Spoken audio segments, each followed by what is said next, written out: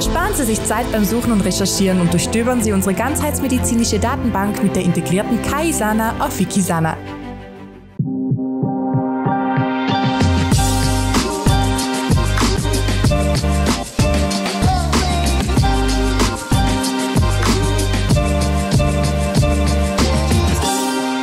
Herzlich willkommen, liebe Zuseher, zu einer neuen Ausgabe von Wurzelheimat, der Talk ins Unbekannte. Zusammen mit meiner Kollegin Susan Freuzheim werden wir heute ein sehr spannendes Thema diskutieren. Leben vor und nach dem Tod. Und dazu haben wir Gäste eingeladen.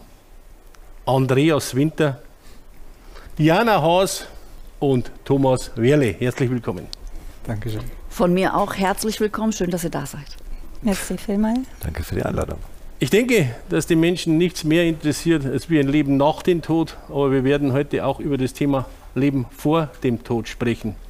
Andreas, du als ja, Psychotherapeut, als Coach, als Menschenhelfender in Krisenmodus, du hast selber Erfahrungen gemacht mit dem Tod, aber nicht direkt du, sondern deine Eltern.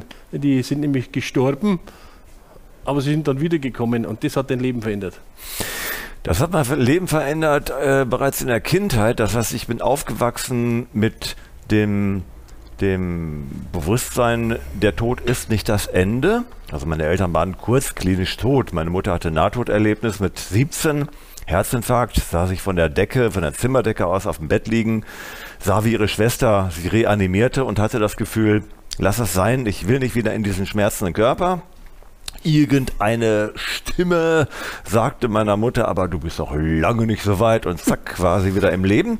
Seitdem konnte sie den Tod von Menschen vorhersagen. Das hat die gehasst wie die Pest. Meine Mama ist eine ganz normale, liebe, bodenständige Hausfrau, aber sie wusste genau, ähm, bei bestimmten Dingen, das ist jetzt eine Todesnachricht und konnte dann auch sagen, wer, wann, wie, wo.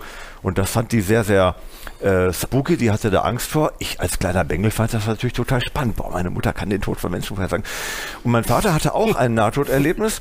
Der hatte einen schweren Autounfall, da war ich vier Jahre alt strömenden Regen wird er äh, steil bergab in der Linkskurve aus dem Auto geschleudert, liegt auf der Straße, zieht sich mit aller Kraft Richtung Straßengraben. Dann erschienen da drei Sanitäterinnen, die waren sehr schnell zur Stelle, wollten ihn mitnehmen und hielten plötzlich inne und sagten, nein, der bleibt hier, der hat hier noch eine Aufgabe zu erledigen und rückten wieder ab. Mein Vater, total entsetzt, wurde ohnmächtig, fragt im Krankenhaus den Arzt, sagen Sie mal, Herr Doktor, das erklären Sie mir mal bitte. Ich liege da schwer verletzt auf der Straße und ihre drei Sanitäterinnen da, die rücken wieder ab mit den Worten, er hatte eine Aufgabe zu erledigen, was soll das? Und der Arzt sagte, Herr Winter, da waren keine drei Sanitäterinnen. Sie hatten ein Nahtoderlebnis, sie waren mausetot. Und mein Vater so, was? Ab da fing der an, sich mit solchen, ähm, mit, mit, mit so einer Literatur über Parapsychologie und, und Grenzwissenschaft und so Zeug zu beschäftigen, weil er einfach wissen wollte, hat er jetzt einen Dachschaden oder was war das? Als ich mich vor drei Jahren nochmal mit ihm darüber unterhalten habe, sagte er, hm, Andreas, das Einzige, was mir damals etwas seltsam vorkam, war das eine von den drei, außer wie meine verstorbene Großtante. Jedenfalls, ich hatte also tatsächlich schon sehr früh Berührung mit dem Thema und habe dann aber ähm, gar nicht auf direktem Wege dann irgendwann Geisteswissenschaften studiert, sondern das war mehr so, weil ich so schlecht in Mathe war. Ich wollte eigentlich Radio- und Fernsehtechniker werden, damit ich mir meine eigenen Gitarrenverstärker bauen kann, aber mit einer 4 in Mathe wirst du nicht Radio- und Fernsehtechniker, also musste ich halt ein Laberfach studieren. da habe ich dann aber festgestellt, das finde ich total spannend und mittlerweile mache ich mir so ein bisschen den Spaß und sage, passt mal auf Leute, wenn ihr wissen wollt, womit ich mich beschäftige, setzt mal das Wort Geist von Geisteswissenschaft in den Plural. Dann habt ihr es. Also ich bin Geisterwissenschaftler manchmal und ich habe da eine Erklärung gefunden, um Menschen, die sagen, ja komm, das ist doch alles Einbildung und man kann sich doch viel ausdenken und das ist doch alles nicht real, um denen mal einen kleinen Griff zu geben, wie man das verstehen muss. Und zwar ich, ich liebäugel immer so mit der Physik, weil die Physik, die schafft meiner Ansicht nach noch einigermaßen zuverlässige Gesetzmäßigkeiten. Ich bin Wassermann, mit Regeln kann ich nicht so viel anfangen, aber gegen Gesetze können wir nun mal alle nichts machen. Und Naturgesetze, da stehe ich nun mal drauf. Und jetzt stell dir mal bitte vor, du nimmst so ein Glas Wasser, Erwärmst es auf 60 Grad und rührst ein Candice, so ein Zuckerkristall ein, löst ihn komplett auf. Dann ist er ja im Grunde genommen genau so, wie ich eines Tages auf dem Friedhof bin, wenn ich da lange noch liege. Desorganisiert. Der Korpus ist aufgelöst. Jetzt machst du deinen Baumwollfaden rein und lässt es unter optimalen Bedingungen wieder verdunsten. Dann hast du danach wieder ein Candice, obwohl er doch vorher eigentlich tot war. Und das ist für mich so ein kleines Experiment, um zu zeigen, den Korpus, den kannst du vielleicht auflösen, aber nicht das, was ihn belebt. Insofern nehme ich das Thema äh, Spiritualität, ähm, Geister, wie auch immer man das jetzt nennen mag, Metaphysik, sehr, sehr ernst, weil ich sage, das ist ein Naturphänomen. Ja, Andreas, da werden wir noch auf dich zurückkommen Aber zu deinen. Erlebnissen mit deinen Klienten natürlich. Äh, Susan, äh, magst du uns auch mal ein bisschen was aus deiner Kindheit erzählen? Du bist ja auch ähnlich äh, unterwegs gewesen, dass du mit diesen Geistern bisschen gespielt hast. Also ich wäre ja froh gewesen, meine Familie hätte ein bisschen was von deiner gehabt. Meine waren eher auf diesem streng katholischen äh, Bereich unterwegs und alles, was ich gesehen habe, lief unter, das ist da nicht, da ist da nichts und das bildest du dir nur ein und alles Schwachsinn. Ausgerechnet ein Kathole, der an die Auferstehung glaubt, ne? Ja, aber bei der katholische darf ja auch nicht mit dem Engel sprechen. Das heißt, ich war dann auch nicht ganz gut mit dem Pfarrer. Insofern, naja, also ich ähm, habe viele Jahre nicht gewusst, was ich bin, was ich kann, weil ich einfach äh, immer gesagt bekommen habe, dass ich falsch bin. Ich habe viele Jahre versucht, in die Menschheit zu passen. Das hat auch nicht funktioniert. Und ähm, ich habe viele äh, Dinge erlebt, natürlich auch im Bereich des Todes und ähm, habe viele paranormale Phänomene erlebt im Bereich, als dann zum Beispiel mein äh, Großvater, meine Oma verstorben sind. Da mir aber keiner helfen konnte und mein gesamtes katholisches Umfeld dachte, ich habe einen an der Klatsche, blieben nur noch so komische esoterische, die mir dann gesagt haben, du hast eine Abspaltung deines Ichs. Damit konnte ich jetzt nun auch nichts anfangen. Und sie haben dann gesagt, je mehr du Angst vor Geistern hast, umso mehr kommen die. Das fand ich jetzt auch nicht so belebend, weil ich hatte ja schon Angst. Mhm. Außerdem war mein Zimmer mit Blick auf den Friedhof, was auch nicht besser gemacht. Also lange Rede, kurzer Sinn. Ich hatte irgendwann von diesem ganzen Zeug die Schnauze voll. Ich habe dann gesagt, also wenn es tatsächlich schwarze und weiße Magie, so hieß es ja damals, ähm, dann will ich mit dem ganzen Kram nichts zu tun haben. Was mir tatsächlich geblieben sind, sind die Engel. Genau, die sind ja schick. Jeder findet Engel cool, ja. Und ähm, Engel sind einfach dann an meiner Seite geblieben. Es hat also wirklich viele Jahre gedauert, bevor ich wieder für mich ausgebuddelt habe. Aha, ich kann dann doch mit Verstorbenen sprechen. Ist übrigens sehr geil, wenn du irgendwo bist und die Leute fragen dich irgendwann in der Runde, und was machst du so? Und ich sage dann, möchtest du das wirklich wissen? Und dann sagen sie ja und ich sage dann, ich bin die, die mit Verstorbenen spricht. Pause. Also ich glaube, wir haben hier alle genug in diese Richtung zu erzählen, aber ich versuche es halt auch locker und leicht zu nehmen, auch wenn mich viele unter Hokuspokus Aber so abgespeichert diese, haben. genau das ist äh, das Ziel dieser Sendung, diese Themen locker und leicht und in normalen Kontext zu diskutieren, oder? Apropos normal. Apropos normal, genau. genau, normal.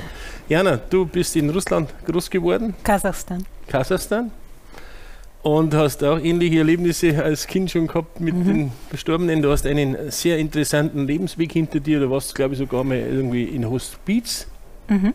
und hast da gearbeitet und hast schon gesehen, dass dieser Tod, wenn Menschen sterben, etwas bis Anführungsstrichen nicht nur besonders ist, weil natürlich das Ende ist des Körpers, aber da passiert was Besonderes, was Magisches. Kannst du uns da mal ein bisschen mitnehmen zu deiner Geschichte? Ich habe nicht in Hospiz gearbeitet, jedoch ähm, in meiner Zeit der Naturheilkunde habe ich sterbende Patienten damals begleitet. Und da war ich Anfang 20. Die Fähigkeit, äh, die Seelen von verstorbenen Menschen zu sehen, war für mich die ersten 20 Lebensjahre eher eine Bürde. Und plötzlich bin ich in der Naturheilpraxis und ähm, alle meine Kolleginnen und Kollegen und Patientinnen und Patienten fragen mich Löcher in den Bauch, gerade was diese geistigen Welten anbetrifft. Und für mich war das Erweckungsmoment, dass plötzlich nach 20 Jahren negativ besetzten Fähigkeiten der Hellsichtigkeit und der Heilkraft Menschen mit Offenheit, mit Interesse, mit ähm, Ehrfurcht ähm, auf mich zukommen und um Hilfe bitten. Und aus Nächstenliebe heraus habe ich mich dann getraut, mich meinen Fähigkeiten zu stellen, den Menschen zu helfen mit Engelbotschaften und Jenseitskontakten und Heilbehandlungen. Und habe dann eben an dieser Begleitung und Erfolgen gesehen, dass meine Fähigkeiten etwas Gutes sind und dass sie negativ besetzt waren vom materialistischen Gedanken, mhm. Gott der Ursprungsfamilie eher falsch ist. Mhm. Und so hat dann meine Berufung gestartet und interessant war auch die Synchronizität. Ähm, als ich auch schwanger war, in dieser Zeit habe ich nicht nur ebenfalls schwangere Patientinnen angezogen und gut beobachtet, was für Inkarnationsengel begleiten sie und ihre Babys und welche Parallelen gibt es da zwischen meiner Schwangerschaft und der geistigen Welt und das deren sondern gleichzeitig hat parallel synchron ähm, so viel oder einige Sterbebegleitungen stattgefunden. Und auch im privaten Leben hatten wir unsere Oma zu verabschieden. Und da habe ich gleichzeitig auch an, viel, an mehreren Menschen beobachten können, wie die Loslassengel die Menschen begleiten und wo sind da Parallelen, Gleichnisse, so ein roter Faden im Loslassen in der Wiedergeburt im Jenseits. Und ich stand, war da so hochschwanger mit meinem großen Bauch und, ähm, und ich hatte da überhaupt keine Berührungsängste. Ich staunte selber, nachdem 20 Jahre lang für mich jenseits ihr Trauma war, sah ich wie Inkarnationsengel und Loslassengel. Es ist pure Harmonie, da ist überhaupt kein Raum für Angst, und überhaupt kein Grund für Angst. Und diese Zeit auch der Schwangerschaft und der Sterbebegleitungen war für mich nicht nur Zeit meines eigenen Erwachens, sondern einer unglaublichen Heilung mit den der Traumata, die vorher unglücklicherweise passiert sind, durch falsche Prägungen, belastende mhm. Gedanken. Ja, das Thema Tod ist ja etwas, das wir gerne äh, ganz ausklammern. Wir wollen alle alt werden, aber nicht wirklich alt sein. Wir wollen den Tod hier gar nicht so richtig zu Hause erleben. Die Menschen sterben in den, in Hospiz oder in den Krankenhäusern selten zu Hause. Und äh, in unserem materialistischen Weltbild ist der Tod so etwas Endgültiges, das wollen wir gar nicht haben. Nicht? Wir wollen ja hier ewig sein und so weiter.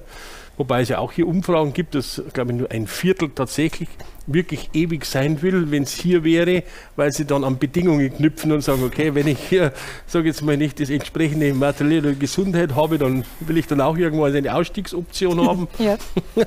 aber wir reden aber auch nochmal, da kommen wir dann auch nochmal drum, du hast ja das Thema Engel jetzt angesprochen.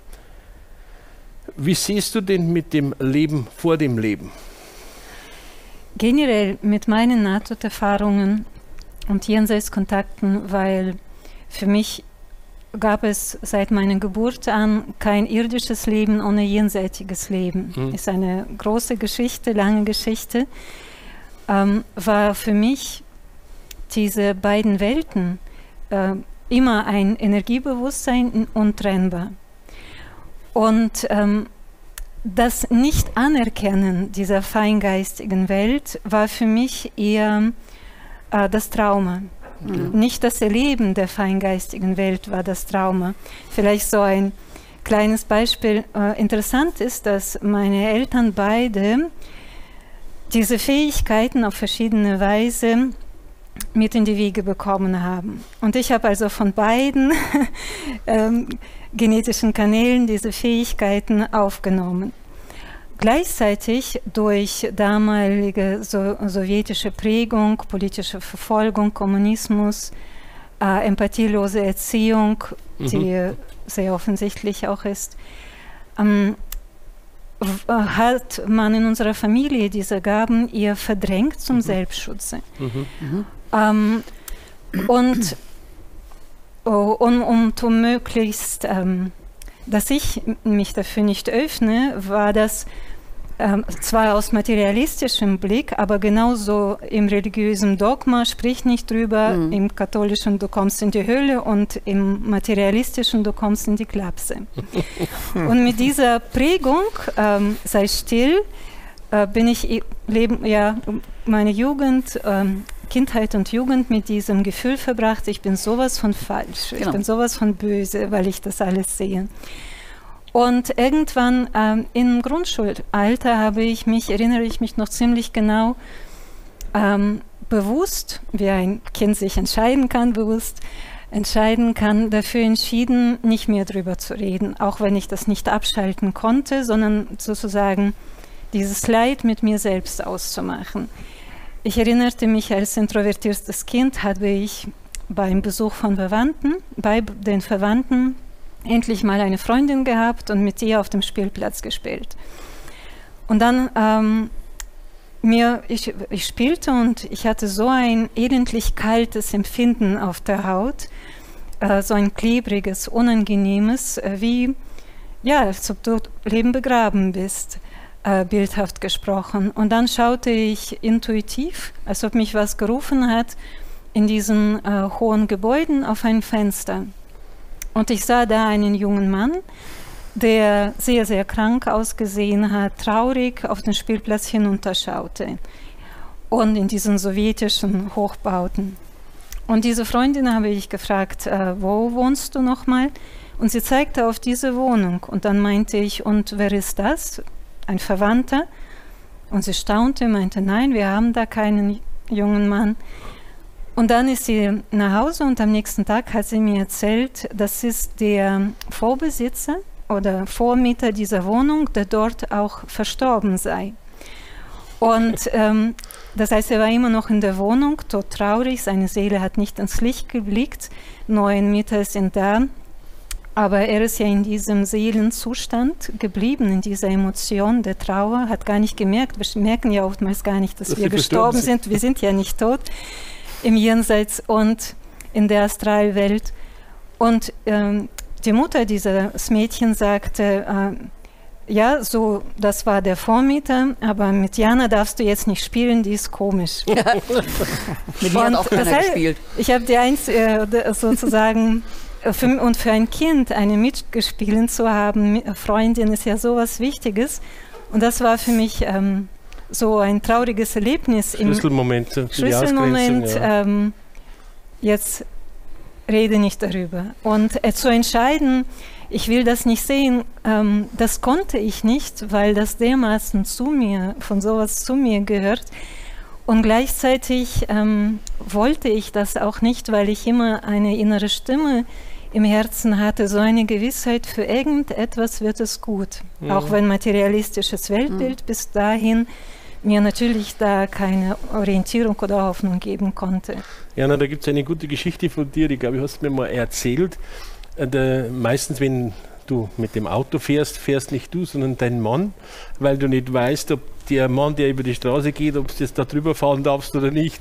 Das ich muss mich sehr erden, ja. Ja, weil du ja die, in Anführungsstrichen, diese Verstorbenen genauso siehst wie ja. wir, die Lebenden. Ja. Heute ist es nicht mehr so anstrengend. Ich habe es drauf, den Schalter ein bisschen zu reduzieren. Beim Kochen muss man sie nicht unbedingt sehen. Aber es gehört natürlich dazu und ich möchte es auch nicht missen. Sonst ist es so einseitig. Thomas, ich möchte gerne mit dir darüber sprechen, über deine Entwicklung, über dein Leben, über dein Medium. Du bist ja ein, ein Tausendsasser, wenn ich da so lese, was du alles magst, von Dimensionswanderer, Seelenflüsterer, Aurauschirurg, Alchemist, Coach etc. Aber eigentlich bist du ein Tieftrance-Medium. Das heißt, wir werden von dir in der zweiten Hälfte vielleicht noch eine Demonstration dann bekommen heute, wenn du dich mit dieser geistigen Welt verbindest und die dann durch dich sprechen. Wird bestimmt ganz spannend werden. Aber wie war denn dein mal, er Erwachsenenwerden? Ja, es war für mich spannend von dir zu hören, von einem Elternteil, Andreas, der den Tod voraussagen konnte. Das war bei meinem Vater auch so. Und auch erzkatholisch aufgewachsen wie du, Susan. Meine Eltern waren nicht dagegen, aber man ging einfach jeden Sonntag in die Kirche und das wurde alles sehr stark zelebriert. Und ich bin eigentlich ein Spätberufener. Ich fühlte einfach immer früher, ich war früher in der Jugend, war ich sehr picklig und ich war übergewichtig und da war ich natürlich ein gesundes Fressen für meine Mitschüler und Mitschülerinnen, da wurde ich gepiesackt. Und ich konnte einfach nie richtig böse sein. Ich fühlte immer diese, diese Liebe zu allem und zu allen. Das war so mein ich sag mal, universelles Gefühl, das ich da hatte. Und mein Erwachen geschah eigentlich erst im Jahr 2004. Also ich fand das früher immer ganz toll, zu medialen Sitzungen zu gehen, wie da die Namen kommen und Beschreibungen. Ich fand immer, oh, das ist super Beruf, aber es wäre mir nie in den Sinn gekommen, das auch zu tun. Bis damals eine gute Freundin zu mir sagte, ich habe ein tolles Medium kennengelernt, du musst an eine Sitzung gehen. Dann ging ich dorthin und das war eine gute Sitzung.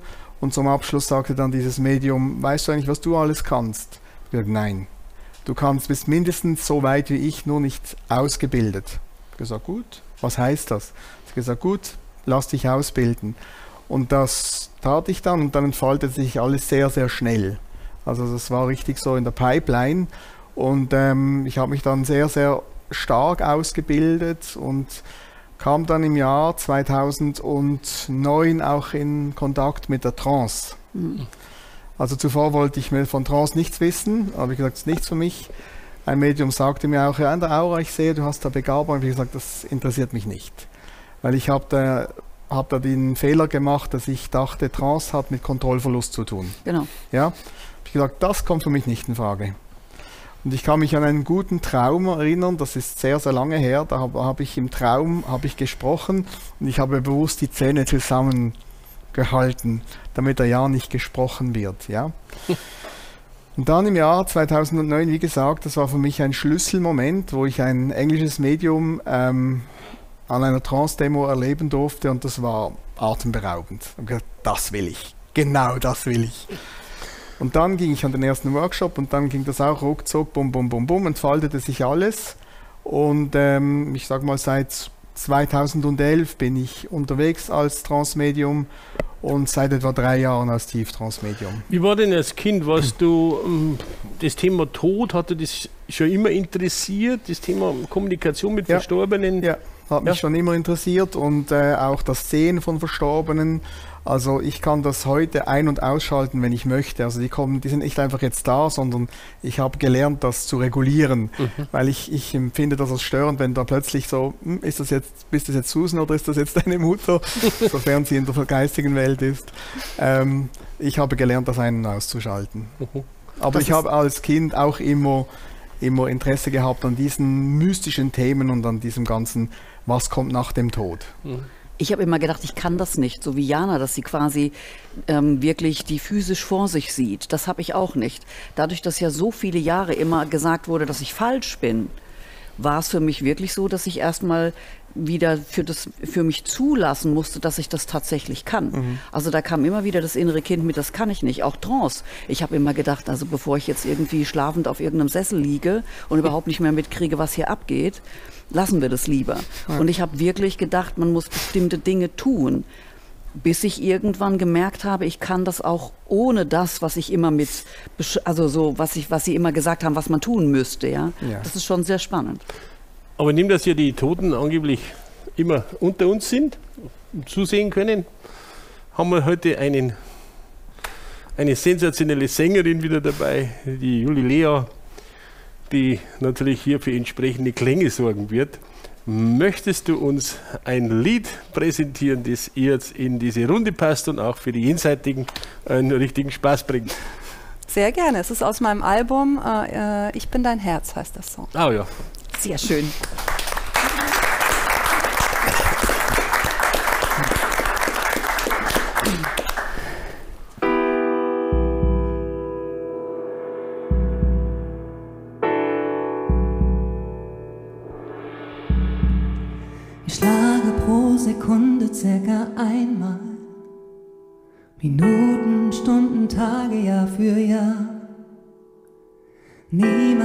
Ich mal für dich nen Break, egal was kommt, ich bleibe stark.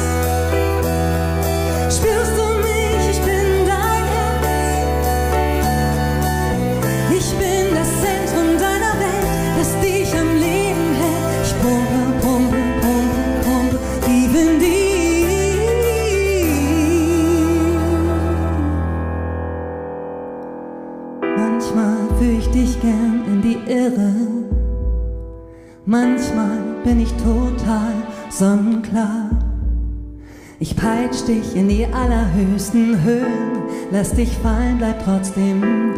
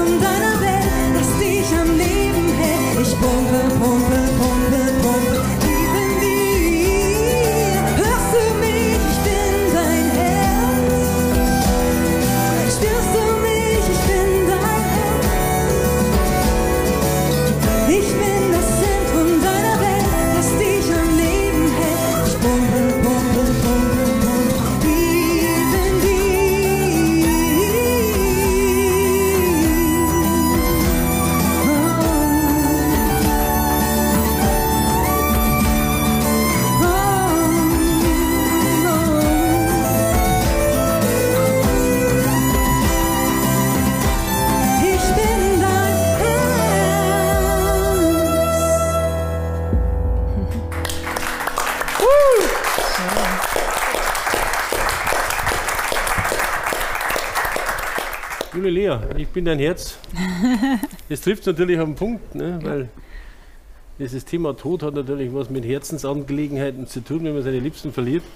Äh, Andreas, ich möchte gerne mal mit dir sprechen, weil wir haben ja das Thema auch Leben vor dem Tod oder vor dem Leben. Du hast ja Klienten, die vielleicht irgendwelche ja, Traumata mitbringen, die vielleicht aus einem vorherigen Leben stammen. Kann das sein? Ja, ich bin tiefenpsychologischer Ursachenanalytiker und schaue also immer, wann hat es angefangen, was ist los bei dir und was ist der Ursprung. Und tatsächlich finden wir meistens den Ursprung in den ersten drei Jahren des Lebens, Abzeugung, weil wir in dieser Zeit noch kein Zeitempfinden haben. Das bedeutet, alles, was wir wahrnehmen, halten wir kontextuell für ewiglich. Und äh, da kann man sich natürlich normalerweise nicht so ohne Hilfe dran erinnern. Aber es gibt natürlich auch ähm, Klienten, da kommt man da noch nicht so richtig weiter. Ich erinnere mich an einen Fall von einer Frau, die äh, wollte Heilpraktikerin werden und hat auch schon zehn Jahre lang, war die eingeschrieben in der Heilpraktikerschule und die hat irgendwie immer die Prüfung rausgezögert. Und die kannte ihren Stoff, die hatte ihr Handwerkzeug dabei, aber die hat die Prüfung nicht gemacht. Und dann bat sie mich um Hilfe, weil sie sagte, da muss so eine Blockade sitzen irgendwie. Ich bin doch, bin doch nicht bescheuert, oder? Und dann fanden wir heraus, dass sie tatsächlich in einem früheren Leben, zumindest kam es ihr so vor, das ist ja erstmal ein Modell. Und wir müssen erstmal davon ausgehen, wenn wir überhaupt leben, das ist ja tatsächlich ein bisschen strittig, ob wir überhaupt leben, denn unser Körper lebt nicht. Die Atome, aus denen wir bestehen, lebt nicht und das, was ihn belebt, lebt ja eigentlich auch nicht. Aber gehen wir erstmal davon aus, es gibt Leben. Dann ähm, ist das ja ein Vektor, eine Formel, ein, ein Muster. Das ist ja das, was ich vorhin mit dem, mit dem aufgelösten Candice erklärt habe. Ich habe mal einen Vortrag gehalten, der heißt, wir leben nur einmal, aber ewig. Das heißt, wir werden immer wieder inkarniert in diesem Denkmodell.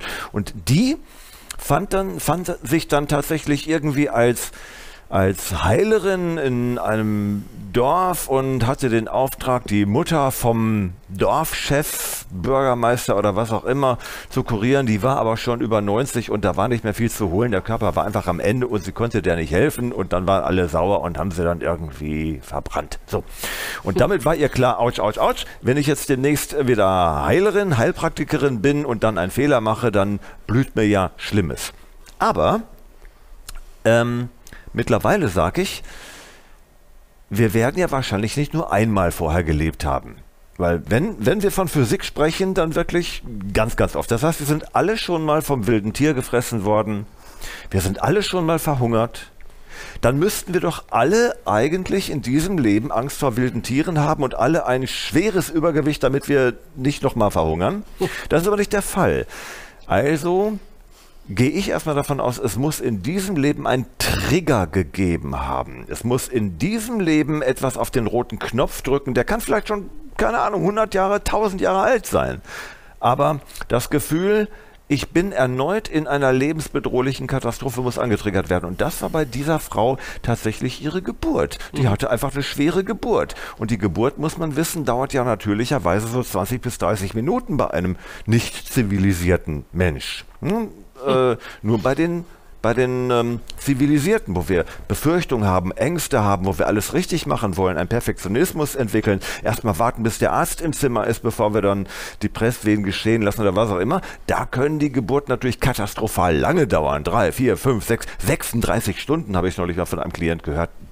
Das, man muss sich vorstellen, das Geburtssignal, das ist ja ein Paniksignal vom Baby. Sauerstoff ist, wird so knapp und dann haut es die Wien raus. So, das heißt, die hatte eine entsprechend schwere Geburt. Das heißt, da wurde dieses, ähm, du machst einen Fehler, das, was du davor hast, ähm, geht nach hinten los. Das wurde da angetriggert und das konnten wir also beides ganz gut auflösen. Sie hat die Prüfung gemacht, sie hat die Prüfung bestanden, bestanden und jetzt ist alles gut. Das heißt, unsere Leben vor den Leben haben uns gar nicht so stark zum Interessieren. Wir wissen nur, dass wir ewig sind. Nein, also ich denke schon, äh, dass wir äh, Erfahrung sammeln. So ähnlich wie das erste Schuljahr, das zweite Schuljahr, das dritte Schuljahr durchaus schon interessant ist, wenn du die vierte Klasse auch bestehen willst.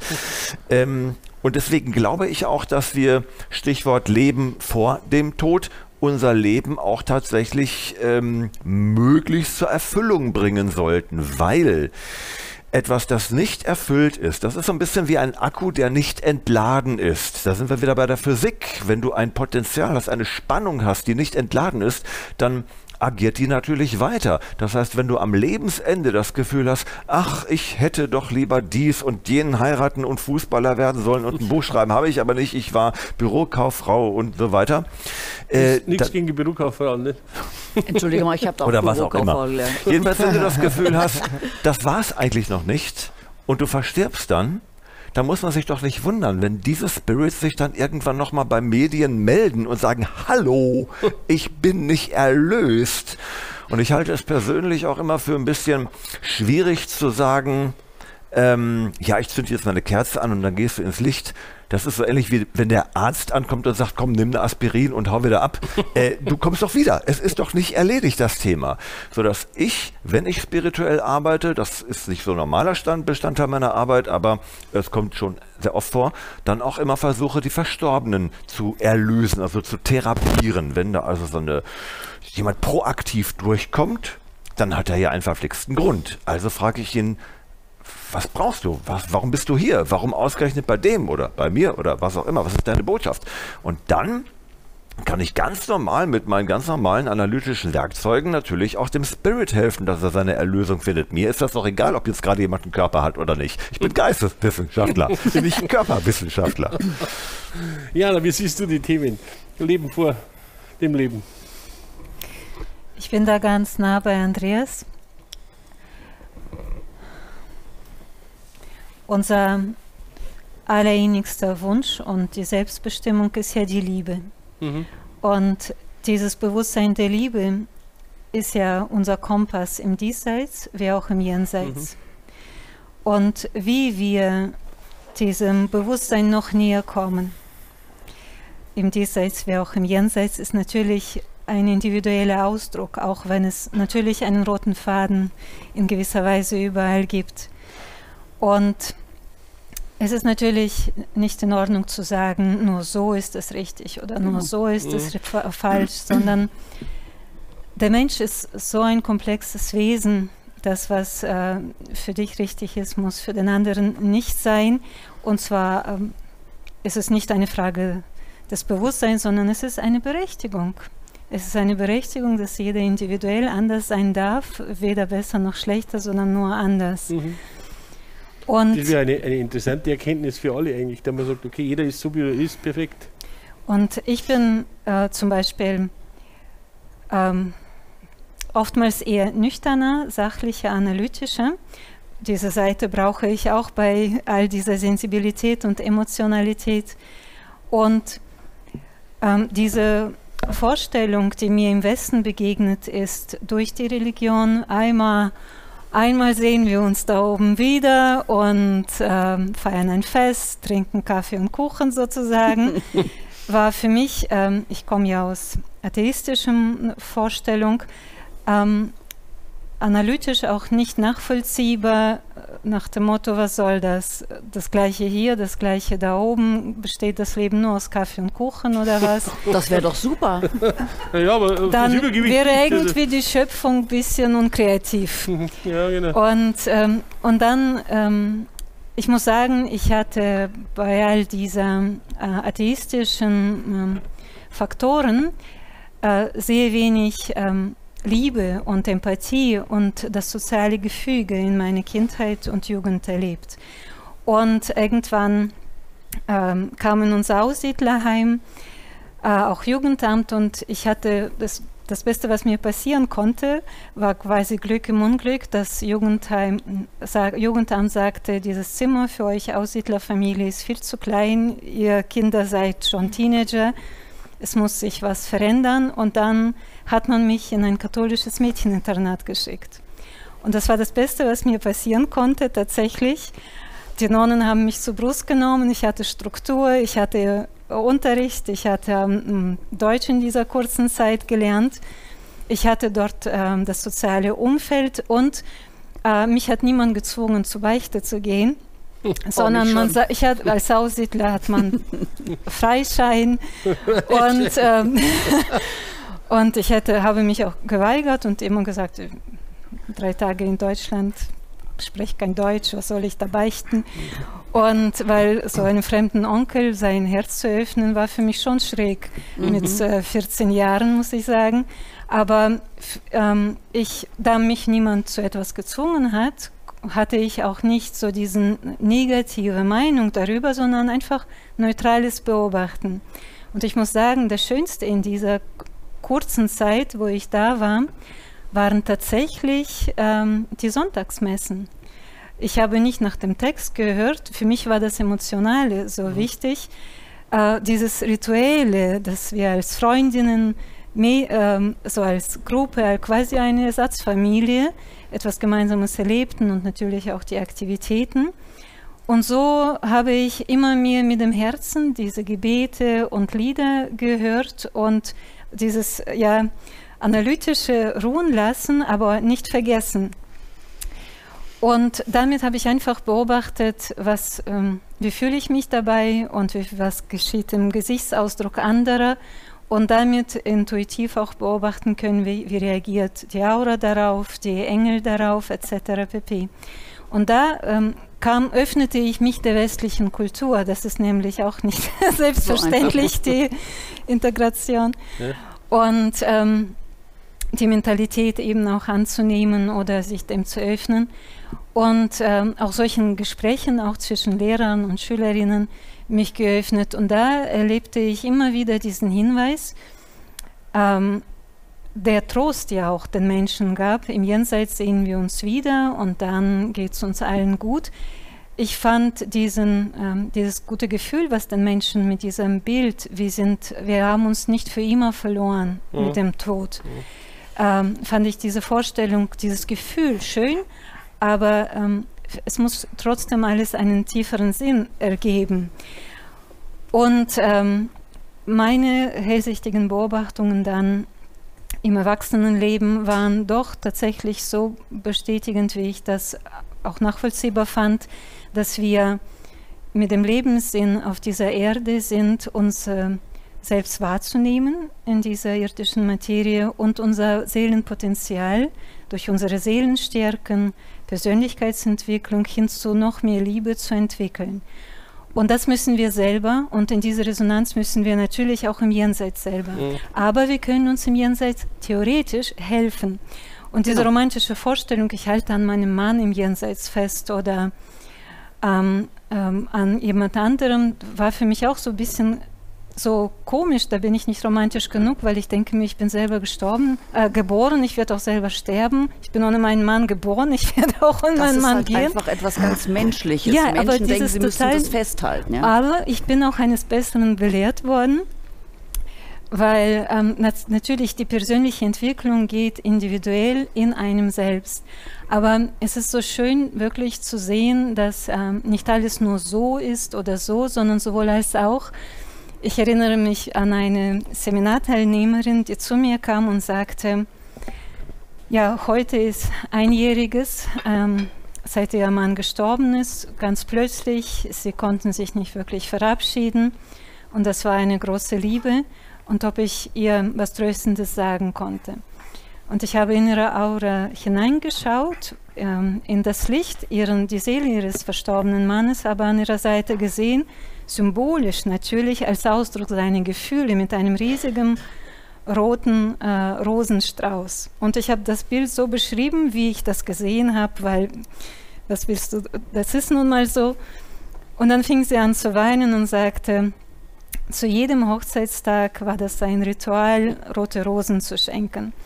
Und irgendwann sagte sie ihm, ach, wir sind schon so lange verheiratet, lass das sein. Kann ich als Frau natürlich nicht nachvollziehen. Wie Ich auch nicht.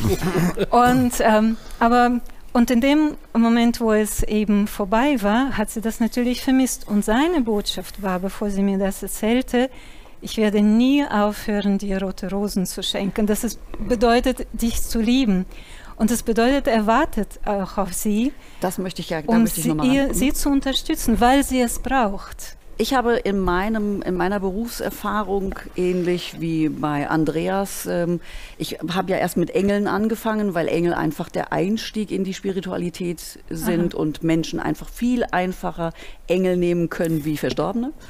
Und ähm, über die vielen Jahre, mit denen ich jetzt schon oder die ich auch auftrete und Verstorbene durchgebe, hat sich das verändert, weil heute arbeite ich nur noch mit Hinterbliebenen und es findet eine Heilung im Hier und im Jenseits statt. Das Ja. heißt, wenn Sie anfangen, nicht nur, dass ich weiß, mein Mann ist neben mir im Jenseits, er ist immer da, sondern wenn Sie anfangen, miteinander zu arbeiten, dann passiert das Bewusstsein hier und das Bewusstsein Ja. da und beide Seiten haben im Endeffekt die Möglichkeiten, wirklich weiterzugehen und das ist was, was für mich ganz, ganz spektakulär ist. Ja. Aber ich würde jetzt an diesem Moment natürlich eins sagen, lassen wir uns doch einmal die geistige Welt selber erklären. Bitte. Oder Thomas, Okay. wärst du soweit? Ja, ja. Das wäre doch toll. Vielleicht noch zwei, drei Worte zu Mhm. dem Kommunikator, der durch mich spricht. Das ist ein Wesen, das sich als Kaios identifizierte und er sagte, das ist nicht der Name, sondern das ist der Wortlaut, der am nächsten seiner Schwingung kommt. Mhm. Kaios. Ja? Dürfen wir dich ansprechen oder lassen wir ihn einfach sprechen? Was du willst. Okay. Was du willst. Das heißt intuitiv, wenn ich irgendwas bekomme eh nichts mit. Also Okay. von dem her. Mal ja. Fragen stellen. Also ja, von dem her. Ähm, ja, das, er kam, zuerst hatte ich einen anderen Kommunikator, der hat sich dann verabschiedet und ähm, der wird auch wieder inkarnieren im Januar nächsten Jahres. ähm, und dann kam dieser neue, von dem ich immer zuerst gar nichts wissen wollte, weil ich gesagt habe, ich will meinen alten Kommunikator. Aber in der Zwischenzeit sind wir auch gute Freunde geworden, von dem her. Okay, dann lassen wir uns überraschen. Ich brauche ein paar Minuten, bis ich in diesem Zustand Mhm. bin. Und sobald er bereit ist, wird Können er. wir in der Zwischenzeit weitersprechen? Sprecht ihr weiter. Mhm, genau. Bitte. Julie Lea, gell? also dieses Thema Herz. Dem- Ich glaube, dein Vater ist ja auch schon verstorben, oder? Täuscht mich Nee, das? der ist noch am Leben, aber meine Ah, Mutter ist vor Der Mu- vier Da war Jahren es die Mutter, genau. gestorben Okay. und die hat sich auch bemerkbar gemacht im Nachhinein über meine beste Freundin und hat gesagt, mir geht es gut. Und deswegen weiß ich, dass sie mich da auch noch mal sehr in diese ganzen äh, Richtungen äh, geschubst hat, weil das schon meine Berufung ist hier. Ja. Berufung ist überhaupt ein ganz wichtiges Thema. Ja, man das über die ganze Zeit sprechen wir über dieses, diesen Ausdruck, seinen Weg in Liebe zu gehen. Und das kannst du wahrscheinlich mit deiner Berufung, mit deinen Talenten wohl am besten. In dem Leben, im vorigen Leben und im nächsten Leben. Oder, Andreas? Äh, äh, Ja, mir geht jetzt gerade eine ganz andere Sache durch den Kopf, wo du das gerade sagst. Ähm, aber ja, äh, also ich, ich, ich bleibe erstmal dabei, ähm, wir drücken, wir versuchen uns immer auszudrücken. Wir versuchen immer Äqu- Äquilibration hinzubekommen und wenn wir, wenn es uns nicht gelingt, nehmen wir halt einen erneuten Anlauf. So können zum Beispiel eben auch äh, im negativen Sinne ähm, Blockaden, äh, chronische Krankheiten oder sonst was entstehen, aber im positiven Sinne versuchen wir natürlich auch immer der Mensch zu sein, der wir sind, von Leben zu Leben zu leben.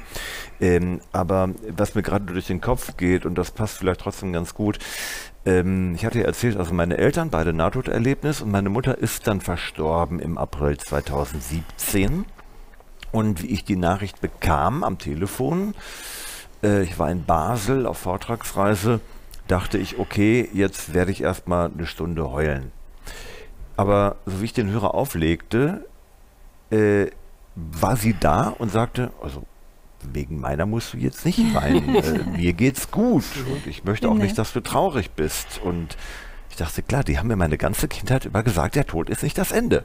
Jetzt ist meine Mutter verstorben und gut, okay. Ich fuhr dann nach Deutschland. Da waren dann schon alle versammelt, äh, mein Vater, Schwester und so weiter.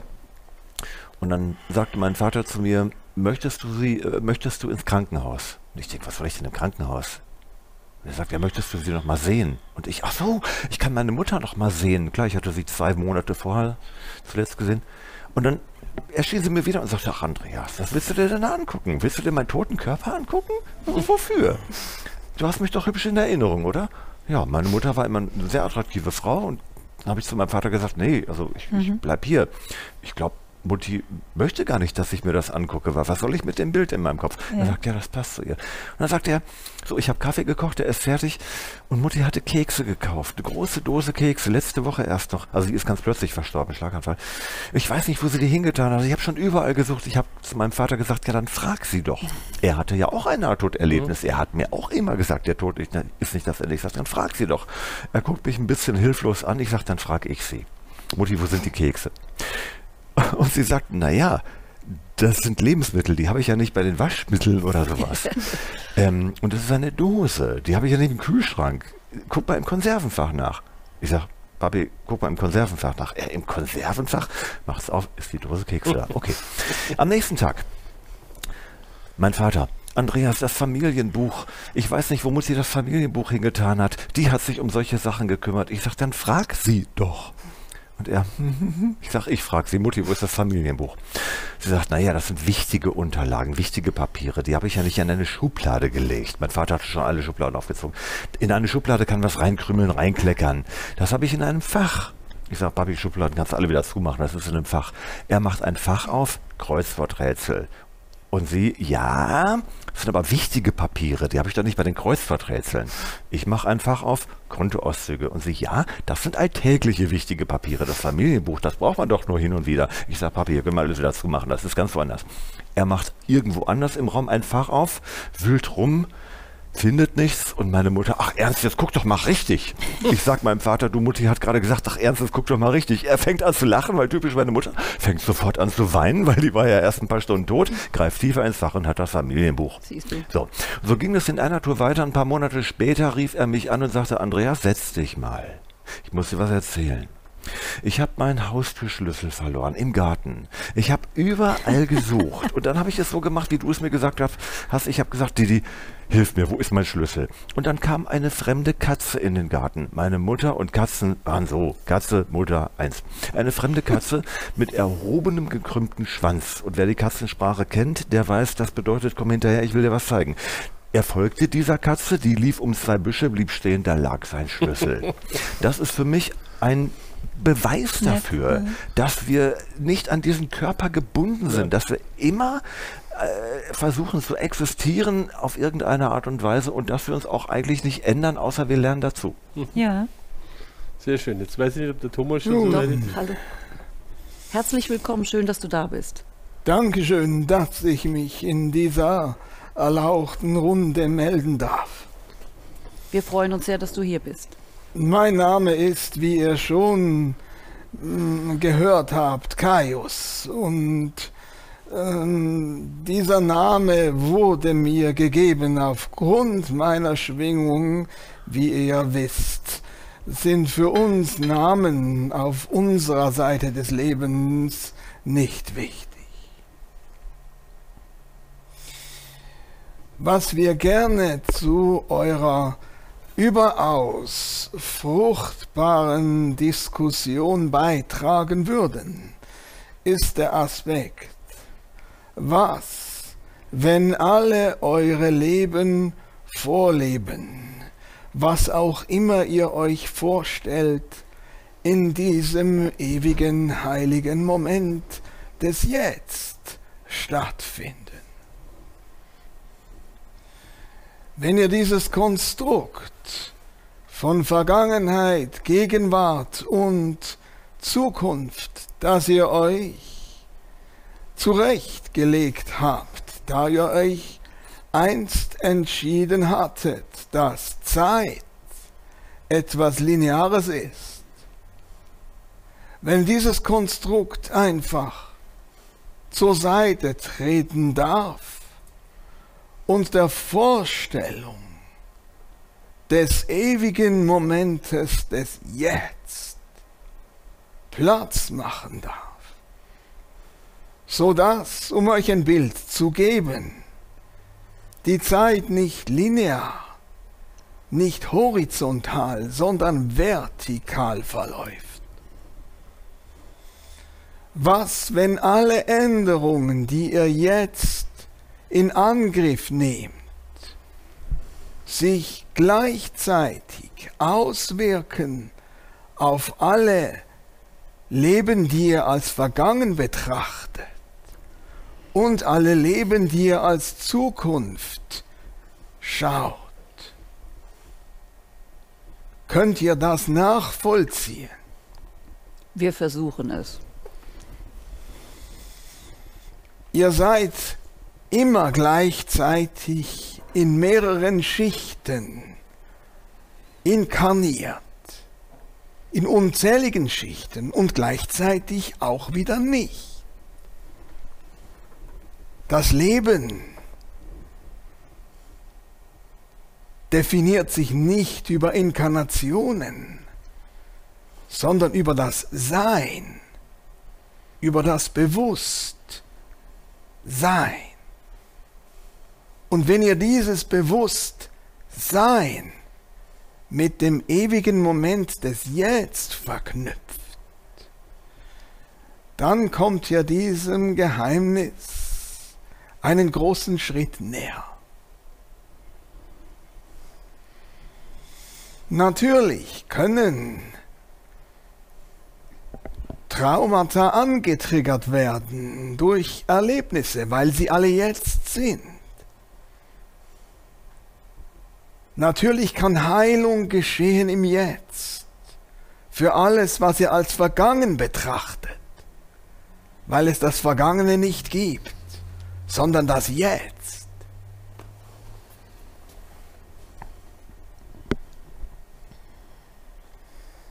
Wenn ihr dem Gedanken folgen könnt, dann werden euch und euren Therapiemöglichkeiten sich Neues offenbaren. Gibt es Fragen dazu? Wie können wir den Menschen helfen, diese Sichtweise leichter für sich zu verstehen? Indem ihr versucht, sie auf die Wichtigkeit des Jetzt hinzuweisen. Jetzt ist das, was ist. Jetzt ist das, was bewegt. Jetzt ist das, was zählt.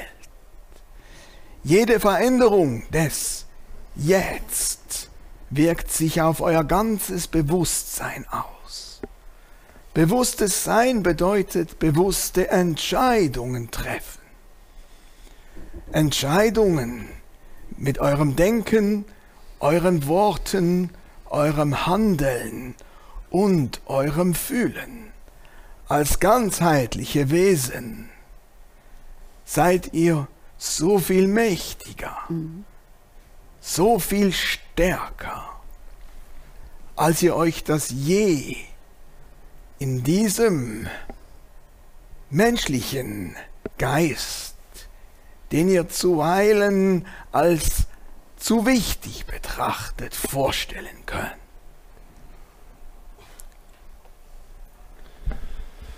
Danke für die tollen Ausführungen. Inwieweit ähm, seid denn ihr auf dieser Ebene noch an Musik interessiert? Oh, wir sind an Musik interessiert, so wie ihr auch an Musik interessiert seid. Musik ist Schwingung. Und so wie alles Schwingung ist, ist Musik eine sehr hohe Schwingung. Wir unterscheiden verschiedene Musikrichtungen, wie ihr das auch tut. Wenn wir eure Seite des Lebens von der Musik her betrachten, da gibt es diese Musik, die therapeutisch eingesetzt wird von euch, mit entsprechend hoher Schwingung. Und dann gibt es Musik, die benutzt wird, um Botschaften zu vermitteln. Musik ist wichtig. Danke. Dann sieht man, wie wichtig das die Musik ist. Juli Lea So eine Ja. schöne Anmoderation Ja. habe ich noch nie bekommen. Vielen, gesagt. vielen aus der Dank. geistigen Welt. Ihr dürft noch natürlich auch jetzt zuhören, das ist klar, geht ja gar nicht anders.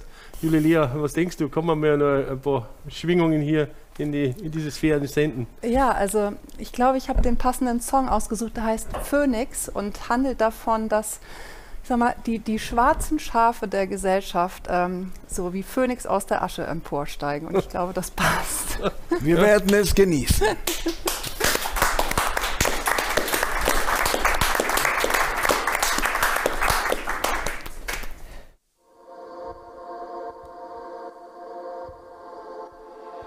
Du atmest ein und nicht aus, deine Kraft ist verbraucht und deine Federn ganz eingestaubt.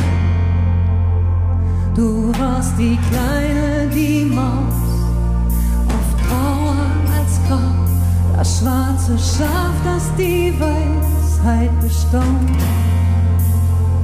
Doch in dir drin ist ein Licht, das deine Schatten zerbricht und in den Scherben spiegelt sich dein wahres Ich.